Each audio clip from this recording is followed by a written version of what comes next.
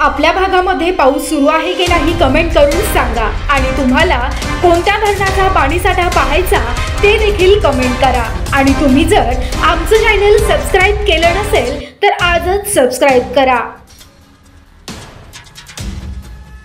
आज दिनांक एक ऑक्टोबर रोजी नाशिक जिल्ह्यातील गिरणा धरणात छप्पन्न पॉईंट नव्याण्णव टक्के पाणीसाठा जमा झाला असून गेल्या वर्षी याच दिवशी शंभर टक्के एवढा पाणीसाठा होता. आज गिरणा धरणामध्ये जिवंत पाणीसाठा दोनशे अठ्ठ्याण्णव पॉईंट सदोतीस दशलक्ष घनमीटर एवढा असून एकूण पाणीसाठा तीनशे त्र्याऐंशी पॉईंट सत्तावीस दशलक्ष घनमीटर एवढा आहे.